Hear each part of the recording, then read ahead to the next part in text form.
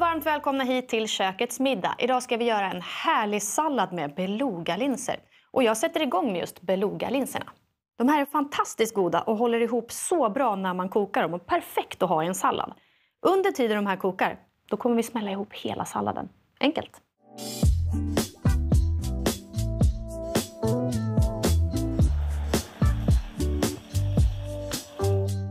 Jag har grönkål i min sallad och jag börjar med att repa den. Och sen kommer jag i avokado. Jag tycker att spetskål är väldigt gott. Det är en väldigt mild och härlig krispig kål. Kommer i tomater och sen ska vi göra en supergod dressing.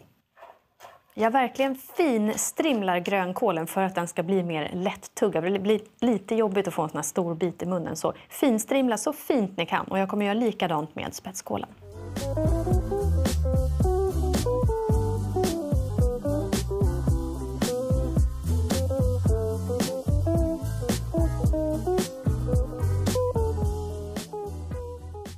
Den här salladen känns ju lite vintrig med tanke på grönkålen och granatäpplet. Men jag väljer ändå att gå i med tomater för jag tycker det är gott och så sätter det lite fin färg.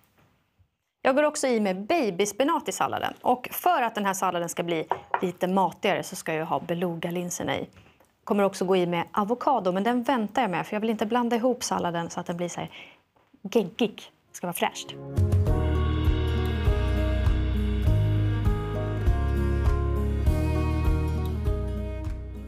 Den här dressingen så har jag rapsolja, rödvinsvinäger. Så kommer jag också gå i med lite sesamolja. Där får man smaka av lite hur man vill ha det. Och sen lime, salt, sen är den klar. Så gott!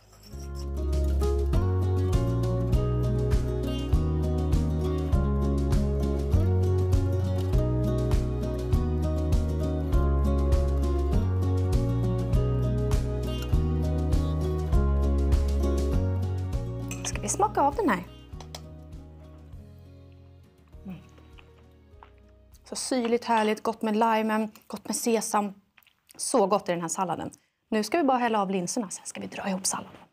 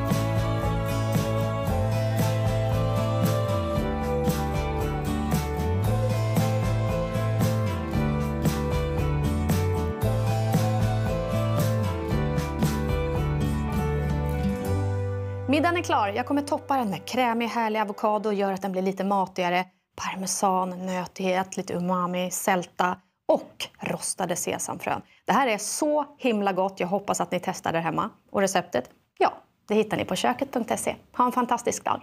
Hej då!